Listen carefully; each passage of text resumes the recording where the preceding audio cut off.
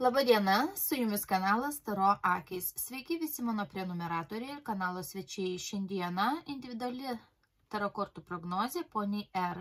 Dėkuoju ponė R už pasitikėjimą, kad ne pirmą kartą į mane kreipėtės ir šiandien žiūrėsime jūsų užduo, į už, užduotus klausimus dėl jausmų, minčių planų jūsų draugo. Ar verta būti kartu? Kokia galima bendra ateitis. Kortas žiūrėsime maždaug pusmečiui į priekį. Taigi, jūs taip pat dar domina, ar artimoje aplinkoje jūs turite priešų kažkokių, e, ar verta jums likti šioje šalyje, darbe, ar jūsų laukia šeimininė laimė. Taigi, prognozė ateinančiam pusmečiui. Jūs su savo nurodytų draugu esate vidutinio suderinamumo. Ir dabar pradėsiu jau žiūrėti nuo, nuo, nuo jo minčių. Kažkodėl tai pirmoji krenta teisminė korta, teisingumas, dokumentai, įstatymai. Šiuo metu jo galvoje yra kažkokie, mhm, kažkokios baimės. Neramumai, baimės ir plus paslaptis susiję su valdiškom įstaigom dokumentais. Tai uh, yra kabina ir pinigus. Tai kabina ir pinigus Ir dar jis dėl to visko gali tarti su kažkokiu žmogumi žemės stichijos arba gimusiu žiemą mm, vyriškiu. Bet pokalbis eina labiau apie moterį, moteris, apie kažkokias tai kaip paskirstimą pinigų, kaip įstatymai kokie nors čia dar, motinystė, vaikai, gal kokia buvusi moteris ko nors reikalauja, gal čia kokie nors dar... Mm, nesutvarkyti, sakykime, kokie nors turto dalybų reikalai ir pinigai. Gal dar kokie nors visokie prisideda, na, ten palei įstatymus, kokių dokumentų kur nors reikia. Tai jo galva dabar tuom užimta ir pasipilna kažkokių tai baimių. Ar kortos parodytų konkrečiau, ko jisai čia dar bijo? Vis dėlto išlenda moteris. Tai yra labiau susiję su moterimi, kad ta moteris jam mhm, greuna, greuna viską, trukdo a, komfortiškai gyventi, komfortiškai ir patogiai gyventi. Čia yra toliau griūvantis pastatos, komfortas griūva.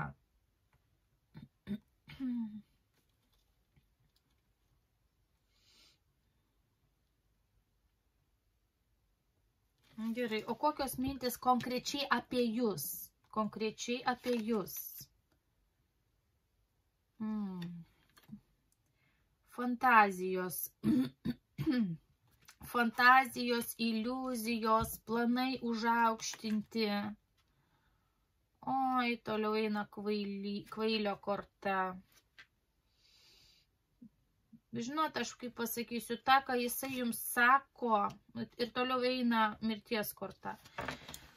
Ai. Žodžiu taip, tą, ką jis jums pasakoja, kuria ateities planus ir fantazuoja, tai yra pati nu, didžiausia dalis nesąmonių, nes toliau eina kvailio korta ir mirties korta, tai reiškia, uh, visas tai yra iliuzija ir beveik viskas sugrius. Visai taip nebus, kaip jisai sako, kaip jisai nori, kaip jisai galvoja, kaip jis, nu, žodžiu, kūrė kažkokius, tai būtų taip, o jeigu būtų taip, ir dar kažkaip, nu, nebus taip. Visai taip nebus. Jis galvoja, kad visai smagu su jumis čia yra tie pasimatymai ir erotika ir viskas. Ir dar jisai galvoja, kad ateis tam viskam pabaiga. Nes tai yra kvailiojimai, tai nėra atsakomybės, o gal jūs jau ir prašote tos atsakomybės, čia gal ir vaiko korta, čia pamastymą apie vaiką, bet tol jau eina stop, nieko to nėra. Tai konkrečiai jisai ir galvoja, tą, ką aš pripasakojau, tai yra kvailystės ir nu, nieko to nebus. Nei pusė to nebus, ką aš esu pripasakojęs. Nu, man šita kombinacija čia visai nepatinka. Nu, visai nepatinka, konkrečiai paklausus apie jūs, ką jis galvoja. Nu taip, jis daug erotikos, daug fantazijų, jūs jam graži, miela, jam smagu tas intimumas, viskas ten gerai, yra įstra, yra noras būti kartu, yra noras susitikti ir, ir taip toliau, kas toliau. Toliau eina tokie, šiandien gerai, o rytoj, o rytoj matysim, o po to mirties korta ir transformacija. Ir jisai supranta, kad kažką reikės palaidoti, jeigu konkrečiai klausti, ką reikės laidoti.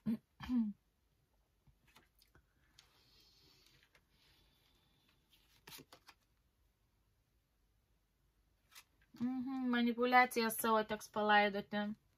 Seksualinės manipulacijas, kurias jisai naudoja prieš jumis. Ir kas prisikels, nu, atsiranda vėl moteris.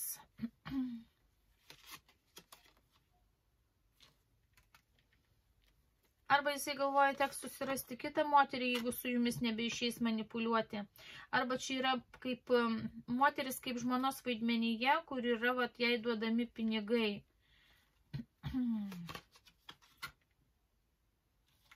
Spaudimas. Gali būti spaudimas iš naujos moters, gali būti atsirasti nauja pažintis. Ir kažkoks tai mm, aiškus sprendimas.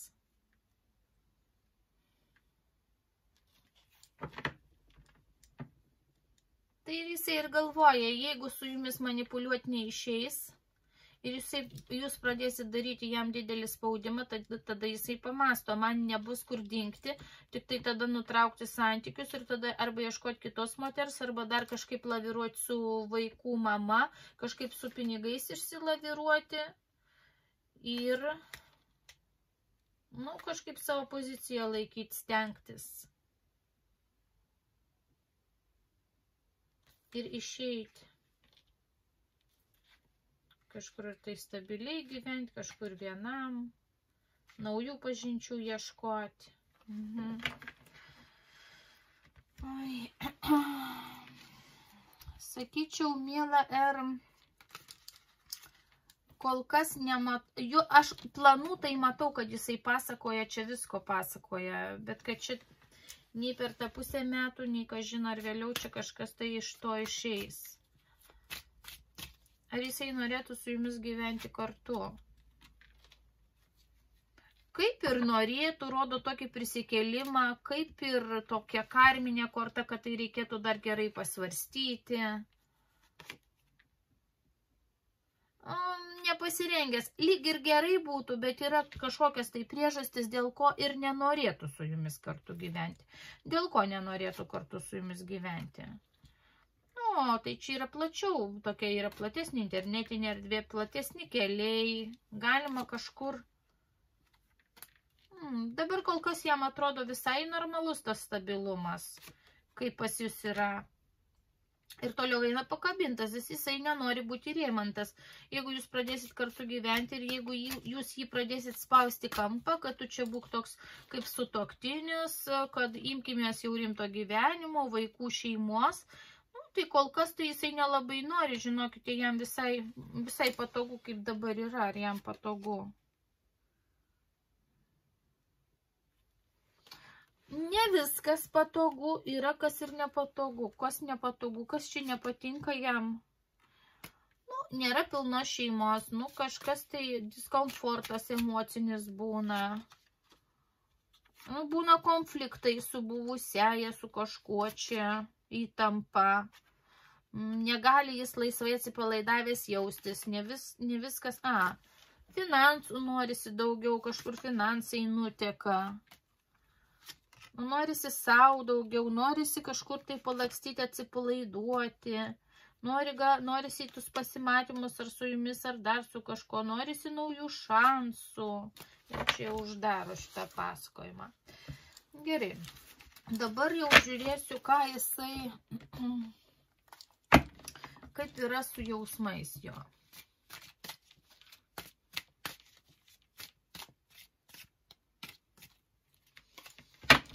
Kaip yra su jo jausmais, ką jis jaučia. Ir vėl išmaišiau kortas. Ir vėl pirmoji korta krenta lygiai ta pati.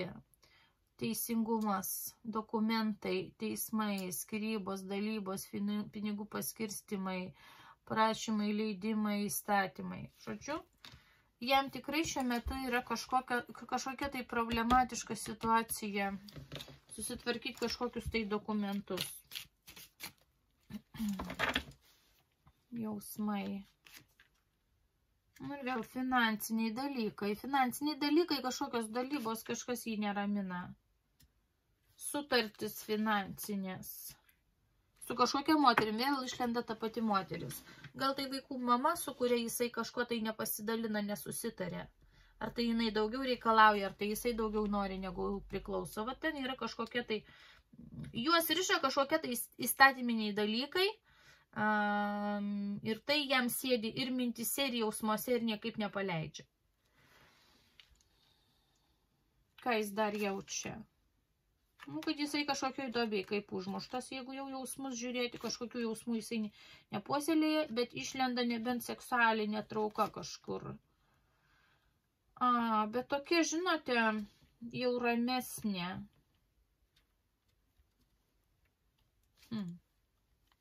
Arba trūkumas. Už tai ir jisai. Jam yra trūkumas. Trūkumas laisvai judėti, trūkumas laisvai bendrauti, trūkumas seksualiniuose, tose aistruose santykiuose. Koš čia spaudimas yra jam daromas, jis nenori. Ačiū uždaro. Taigi, ką jisai čia dar jaučia? Jaučia, kad nori kažkur lėkti. Jaučia, kad nori tiesiog, kad visas pasaulis jam būtų po kojų. Jaučiu, kad norėtų visus, visais manipuliuoti, nenori pats bijoti, nori pats laikyti savo rankose situaciją, nes Vilniukas išlenda. Ieško kažkokio ryšio ir geriausio sprendimo.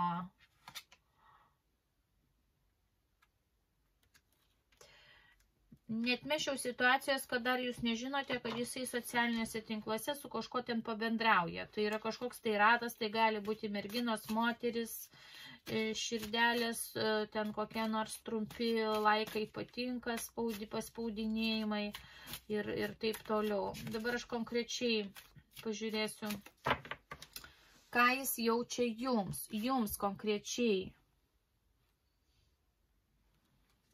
Išlenda kažkoks tai vis tiek.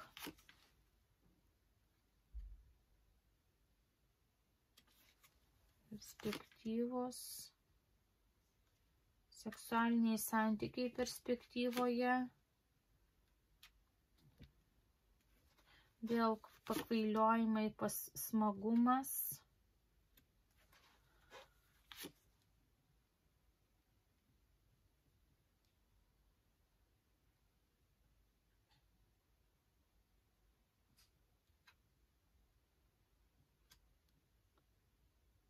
Mhm.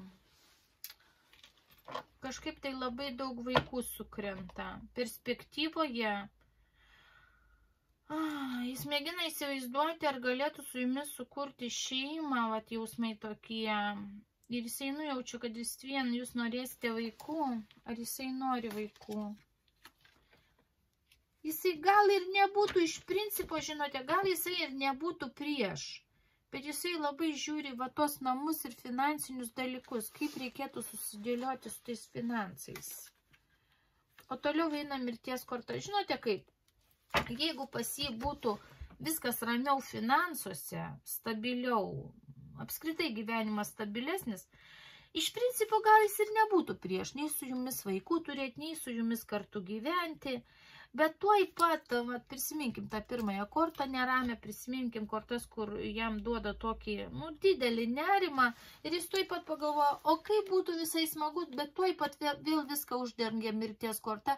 Nu, gal ne, gal visgi ne, gal visgi ne dabar, gal, nu, gal reikia laukti, o gal visai tai prasta mintis ir galų gale viskas taip, nu, nueina lyg ir ne, labiau ne negu taip.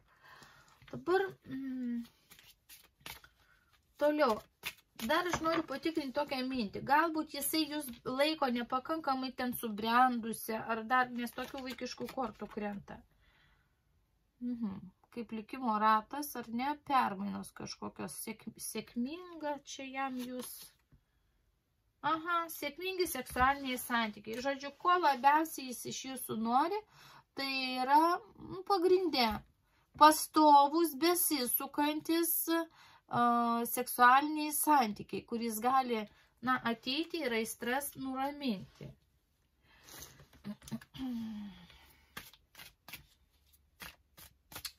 Kas dar jums jaučia?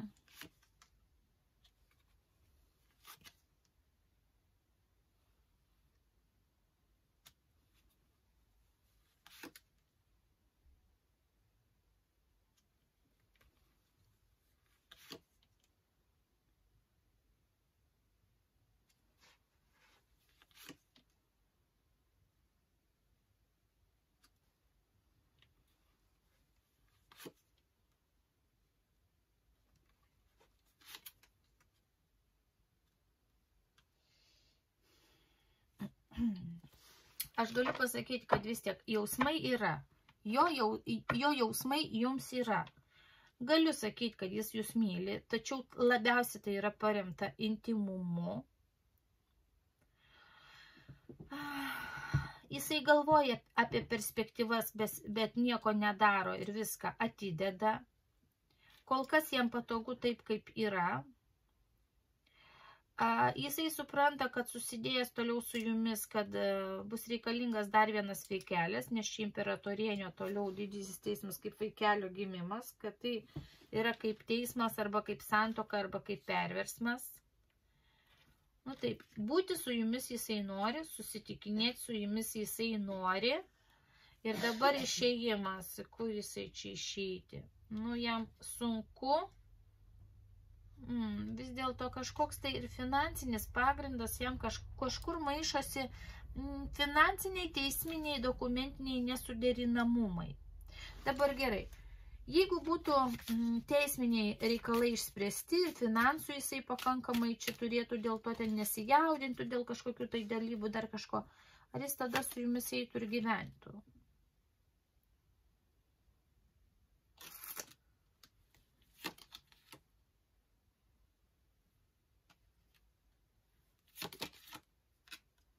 Žinote, kaip pasi vis tiek būtų kažkokios baimės. Dėl ko? A, nu ir vėl tas pats per tą patį. Ar jūs nepradėsite jo spausti? Ar jam nebus diskomforto? Ar kurti naują šeimą bus vėl iš naujo truktų žvadžių vėl iš pradžių, kad jisai jau šeimą turėjo? Ar jam bus vėl ne per sunku? Jūs suprantate, jis ir, ir noriu, ir bijau, ir noriu ir sugalvoju šimtą priežasčių, ir vėl noriu tos moters, ir vėl šimtas priežasčių. Nu, ar jisai norėtų gyventi su jumis tik tai kaip meilužių statusą? Hmm.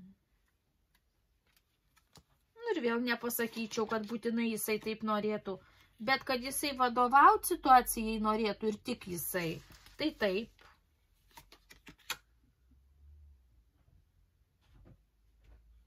Bet dabar jisai nervinasi. Nu, nervinasi yra įtemti kažko tai nervai jam. Nervai, kad jisai negali būti tom imperatorium, kad jisai negali čia viskam vadovauti, kad ne jo rankose visa valia, kad reikia čia dabar taikytis per dvi vietas viskas kaip supinėse, tai blogai, taip tai gerai. Kad yra kažkokia našta ir vat pakabint. Vat jisai atrodo, kad jam yra mm, ar tai įstatymai, ar buvusi šeima, vaikai, ten kažkas, vat, jį yra taip įspraudę, kad jisai nei pirmin, nei atgal. Vat yra sunkumas, jis, jis turi kaip finansinę naštą, kaip įsipareigojimus, kaip kažką.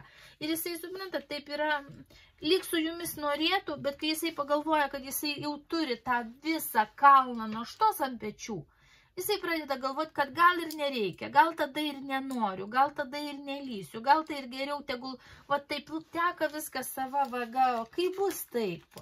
Ir jeigu jau labai situacija bus jau prasta su jumis, arba jūs ten labai reikalausit visko, nu, gal tada ir kitą susirasiu, o gal tai, o, o bus ir matyti, o šiandien gerai, o pažiūrėsime kaip paskui. Va toks labai neapsisprendęs, labai neorientuotas į kažkokią vieną kryptį, labai toks besimėtantis, bet labai aiškiai žinantis, kad su jumis susitikinėti dėl intimių santykių uh, ten, nu, tikrai nori. Va šito tai jisai keurai tikrai žino. Aha.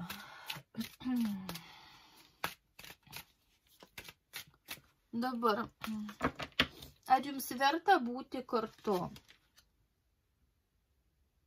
Nu, šiaip tai ne. Jums asmeniškai aš čia dabar klausiu.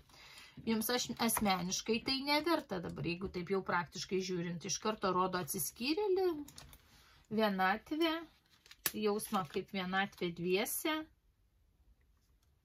Nu, vėl žvaigždės, tai yra šaltis, tai yra nutolimas, bet to kortos rodo, kad uh, tas santykių formatas, kuris pas jūs dabar yra, jisai gali dar tęstis ilgokai Pažadai ir viltis gali tęstis ilgokai.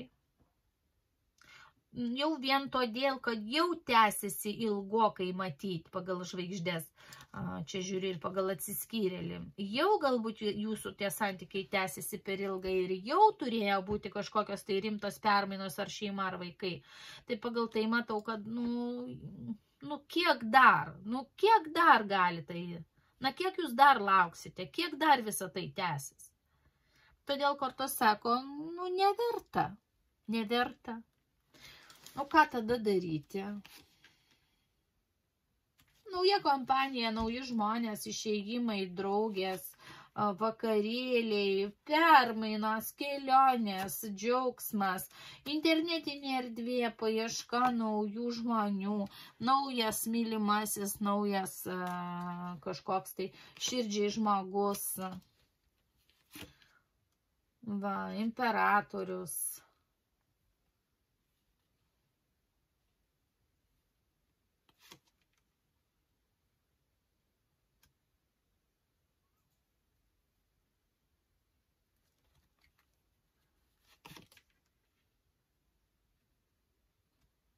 Bet žinot, kaip tai rodo jūs rizikuojate pakliūti į panašią situaciją, kurioje esate. Tai bus kaip dabartinio jūsų meilužio draugo pakaitalas į kitą. Arba jūs vėl, nu, nurodo, kad jūs grįžt, grįžte prie kažko tai seno. Mm, yra trys variantai. Tai yra dar kažkoks tai draugas iš praeities be šito dabartinio draugo. Tai gali būti po atsiskirimo, įsiskirimo vėl grįžimas prie to paties draugo, su kuriuo dabar susitikinėjate. Ir gali būti naujas žmogus, su kuriuo užsimegs ta pati schema, kuri yra su dabartiniu draugu. Tai yra meilužio statusas, kuris e, ne kažkur juda, niekur nejuda. Nu taip, nejuda. Vėl meilužiai, paslaptis, neiškumai, nesusipratimai. Ar vaikas gali būti? Ne, negali. Prisiminkim, kad aš žiūriu pusmečiui, ne visam gyvenimui.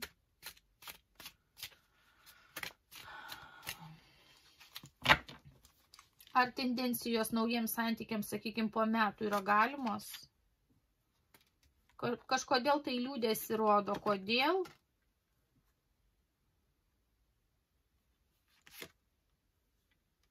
Todėl, kad jūs kažkaip tai esate užsidariusi nuo naujų šansų ir nenorite jų nei priimti, nei matyti, nei jums atrodo, kad panosim kištų naują šansą ar naują žmogų ar naują pažintį, jūs net nežiūrėtumėt, nu nepamatytumėt.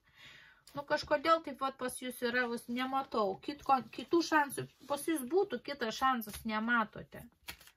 Nematote, nepriimate, nesiorientuojate naujus šansus. Nu, kortos šiaip tai ne, nerekomenduoja šitų santykių tęsti. Kodėl? Nu, tai kad tai yra įdėtas sunkus darbas jau į tuos santykius, atsiranda dar šalia vėl buvusioji, atsiranda trūkumas, nu trūkumą, jūs turite šituose santykiuose trūkumą. Nu, jūs neturit iš to santykių nieko, jums nutrūksta, laikas, vat, laiko korta užsitęsia laikas ir nieko iš to neturite. Nu, ir dar viena užsilaukimo korta atsargiai užsilauksite, jau jūs jau užsilaukėte per ilgai su šitais santykiais ir jūs užsilauksite dar ir prarasite laiką. Suprantat, eina laikas ir jūs laiką prarandate. Žiauriai prarandate laiką.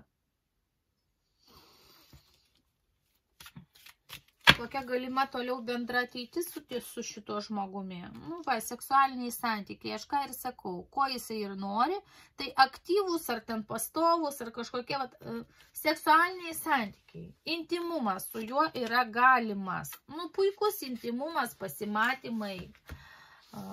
Tai tai nebejotinai gali tęstis toliau ir tokia galima bendra ateitis toliau dėl seksualinių santykių susitikinėti. Bet vat, bendra šeima, bendri namai, bendri vaikai, nu, nesimato.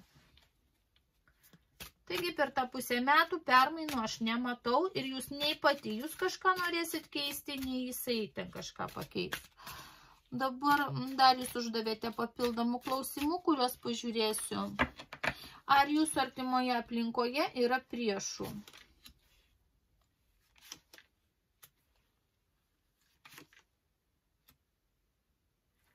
Krenta tradicinė santokos korta ir kažkoks tai dar vyriškis. Iš vienos pusės e, tai bendrai gali rodyti kažkokius tai santokinius tradicinius įsipareigojimus ir tai galima manyti, kad tai yra e, nu, priešiškumas susijęs su tuo, kad galbūt jisai tenai nu, su buvusia moterim turėjo vaikų, turėjo tra, kažkokią tradicinį gyvenimą, kartu mėgino santoką kurti ir iš ten pareina kažkoks negatyvas.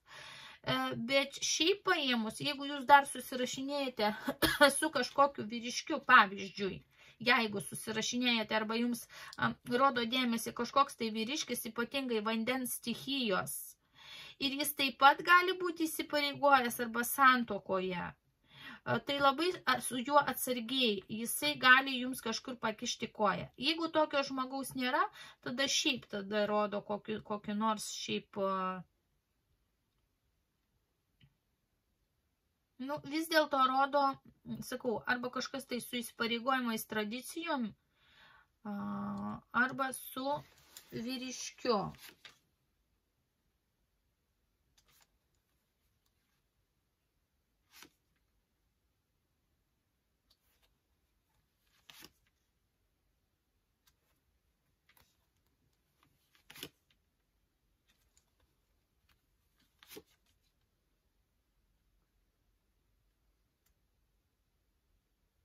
Žinote, ir išlenda dar kaip pora, sakyčiau, imperatorius su imperatorienė išlenda.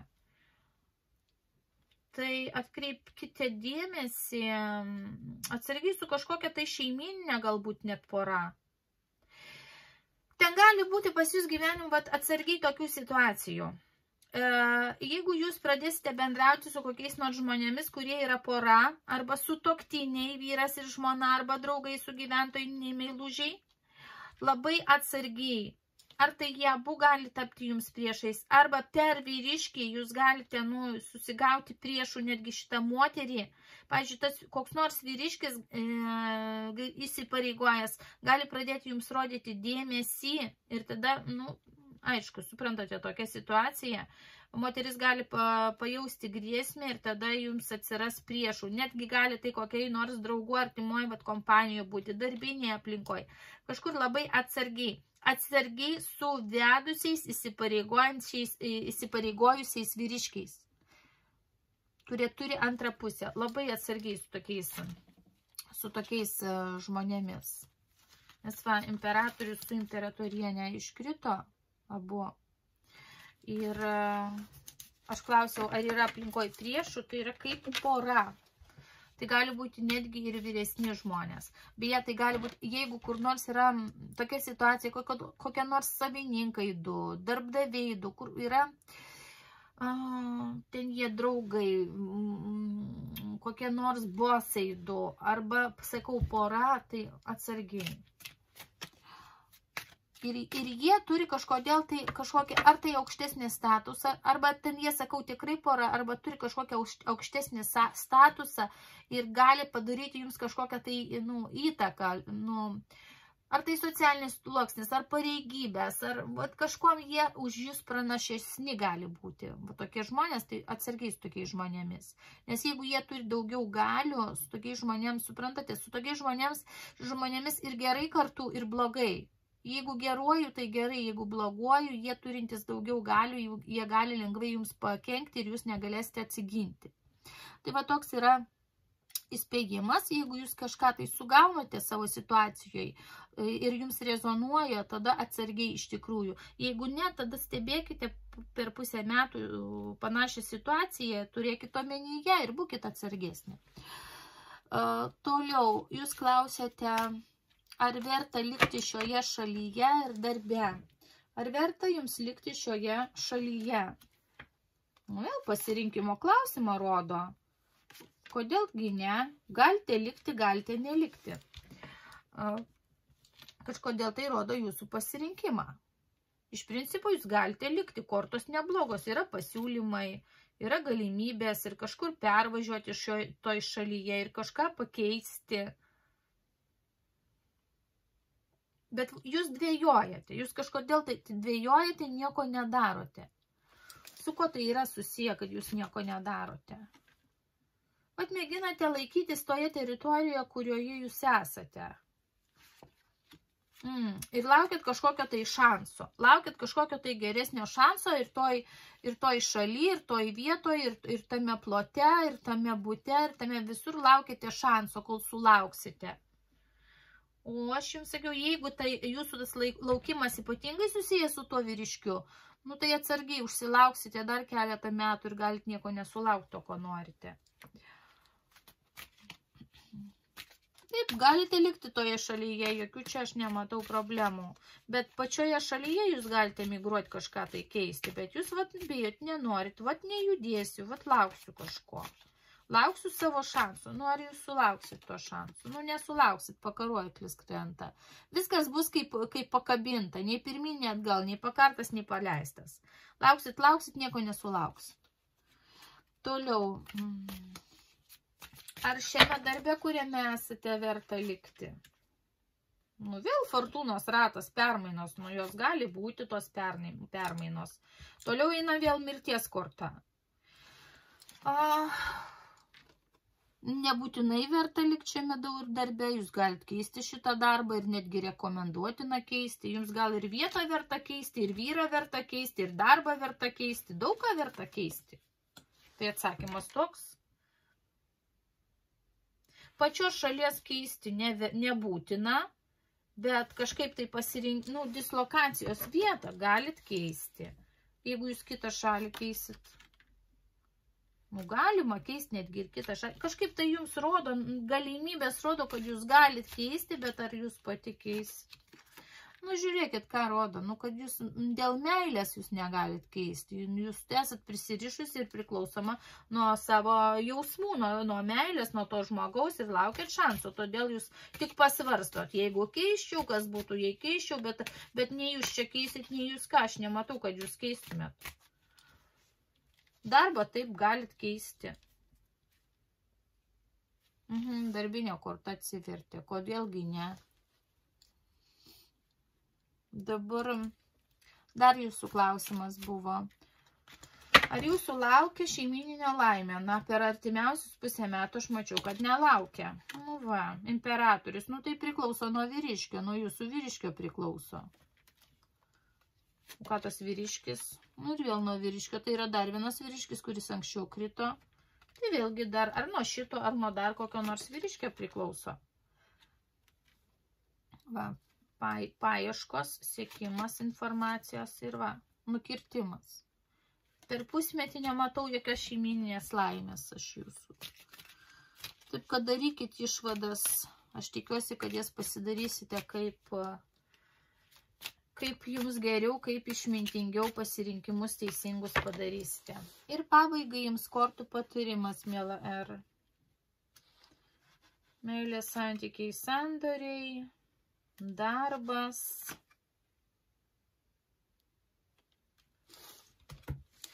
Kurkite naujus gudrius planus ir sandorius dėl darbo. Žiūrėkite sandorius ne meilės ir asmeninius sandorius, o žiūrėkite darbinius finansinius sandorius, kurie būtų jums naudingi.